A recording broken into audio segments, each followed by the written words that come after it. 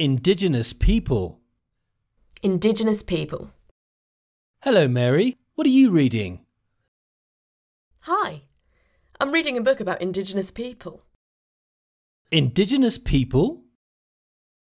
Yeah. Have you ever heard about the first people? Or Aboriginal people? Yes, I think we learned it at school. They're also called Indigenous people. Basically, they're ethnic groups who are the original owners of a given region. Are there a lot of Indigenous people living in the world right now?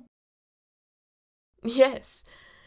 There are approximately 400,000 Indigenous people in the world, spread across 90 countries, speaking their own languages and maintaining their own traditions and culture. Wow, I didn't have a clue. Are there Indigenous people living in the US as well?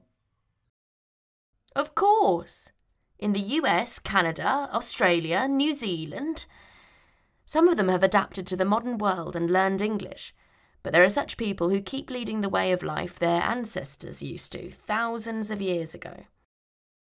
That's unbelievable. You blew me away with this information. This is our history, the history of our world. So it's important to know it. But don't worry, it's never too late to learn.